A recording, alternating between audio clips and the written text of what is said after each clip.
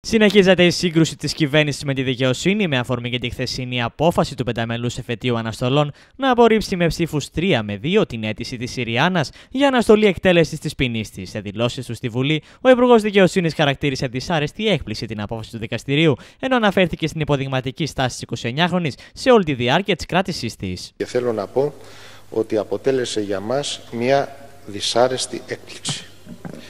Και τούτο διότι Πρώτον, η στάση της ετούσας, αυτής της κοπέλας η οποία έχει καταδικαστεί σε, πολυ... σε πολυετή κάθριξη, καθόλου το χρόνο της υποδικίας της, ήταν απολύτως υποδειγματική.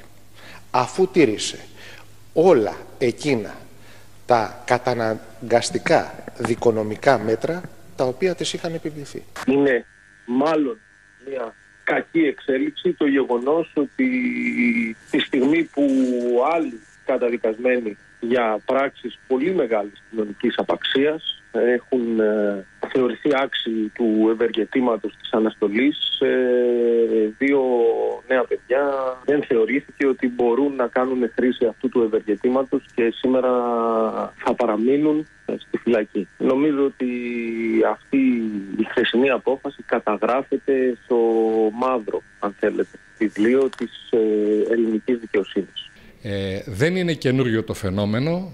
Ε, η κρατική, ο, η διοικητική μηχανή, ο κρατικός μηχανισμός, η εκάστοτε κυβέρνηση να προσπαθεί με τον ένα ή με τον άλλο τρόπο ε, να παρέμβει στην ανεξάρτητη λειτουργία απονομής της δικαιοσύνης.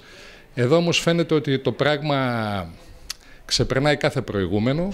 Δυστυχώς ε, και λυπάμαι που κάνω ε, αυτή την διαπίστωση, αλλά χωρίς κανέναν ενδιασμό, χωρίς κανένα πρόσχημα, ε, γίνεται προσπάθεια παρέμβασης ε, του κρατικού μηχανισμού στην ανεξάρτητη αρχή και λειτουργία απονομής της δικαιοσύνης.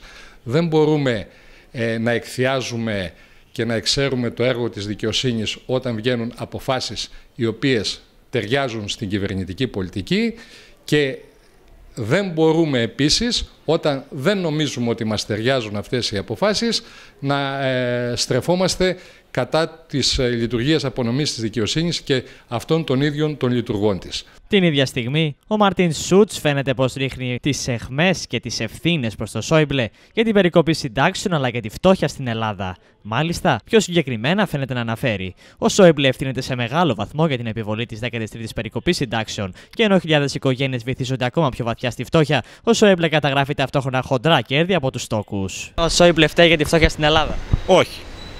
Τι φταίει, πιστεύετε; Οι Έλληνες. Οι Έλληνες αποκλειστικά. Εμείς. Γιατί δεν να βάλουμε τα πράγματα στη θέση τους. Απλούστατα πράγματα. Όταν βάζεις εσύ ότι φταίει ο πατέρας σου, φταίει εσύ καθαρά. Ο πατέρας σου μπορεί να φταίει για κάτι. Έτσι. Από εκεί και πέρα όμως αφήνεις στην άκρη τον πατέρα σου και αναλαμβάνεις εσύ τις ευθύνες σου. Όχι. Ποιος φταίει; Οι Έλληνες πολιτικοί. Οι Έλληνες αποκλειστικά, έτσι. Γενικά οι Έλληνες. Γιατί το πιστεύετε αυτό; Διότι ό,τι έχει γίνει είναι πάλι από μέσα. Δεν φταίει κανένα Σόιμπλε. Πρώτα φταίνει δική μας αγόρι μου και μετά όλοι οι άλλοι. Πολύ δύσκολη ερώτηση. Ο Σόιμπλε είναι ένα πρόσωπο, ένα όργανο της πολιτικής, τίποτα άλλο. Τώρα ότι κάνει τη δουλειά του, την κάνει λίγο αυστηρά και με γερμανική ακρίβεια και ε. θέλει όλα να τα κάνει 100%. Αν φταίει ο ίδιος ο Σόιμπλε, δεν πιστεύω όλο το σύστημα φταίει. Τα πάντα. Οι τράπεζες, οι, οι, λένε τους, οι πιστωτές, ό,τι έχει σχέση με, τη, με την κρίση δηλαδή. Δεν είναι μόνο ο Σόιμπλε. Αυτός είναι τώρα ο, φαίνεται ο κακός. Το θέμα είναι ότι πρέπει κάποια στιγμή να σταθεί η Ελλάδα πάλι στα πόδια της και δεν μας φταίει ούτε ο Σόιμπλε ούτε κανένας. Όχι. Γιατί; Γιατί όλοι ψέματα λένε. Δηλαδή πιστεύετε ότι και ο Σούλτς φταίει; Όχι φταίνει. Αυτοί μας έκλεισαν αυτό. Οι δικοί μας φταίνουν πιο πολύ, οι μετά φταίνουν και αυτοί.